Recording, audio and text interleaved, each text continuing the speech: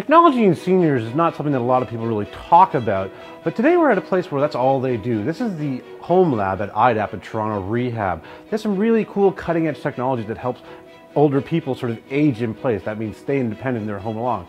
Today, let's start with my new friend over here. Hello, my name is Ed.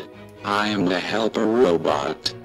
Now, Ed actually isn't autonomous. We have a robot driver here, one of the scientists who are working on this project. So now I know you're all thinking, you know, Rosie from the Jetsons, but actually Ed is the result of a, a experiment with low-cost robotics. He's actually built on a, a, Roomba, which is the popular robotic vacuum. And the point is, is that, you know, while robots can be very expensive, they're trying to get him down to about $5,000 or perhaps even cheaper. Uh, they're running some experiments where he's going to be going into a senior's home and helping a bunch of people. And, and what he does is he helps sort of elderly people with dementia or Alzheimer's and reminds them to do things.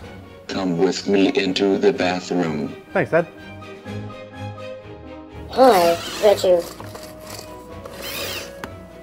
Turn on the water. Get some soap. Scrub your hands. Good job, Reggie.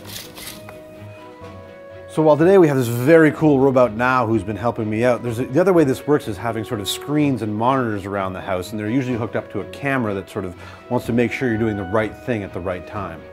So beyond robotics, they're also doing a lot of work with sensors here. One of the things is a fall detection monitoring system. It's right up there. Basically, there's sensors all over the place, and if you do take a fall, it'll ask you, are you okay? Do you need help? A large part of the um, consumer market is going to be looking at robots that are going to be able to help them, but also be really cheap.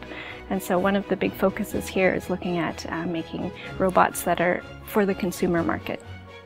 So that's just a taste of some of the technology for seniors that's being worked on here at the Home Lab at Toronto Rehab. Obviously it's some really cutting edge stuff, but the scientists here are hoping that some of this stuff is going to get out to market in a matter of years as opposed to say decades. For the Toronto Star, I'm Raju Mudhar. Thanks, Ed.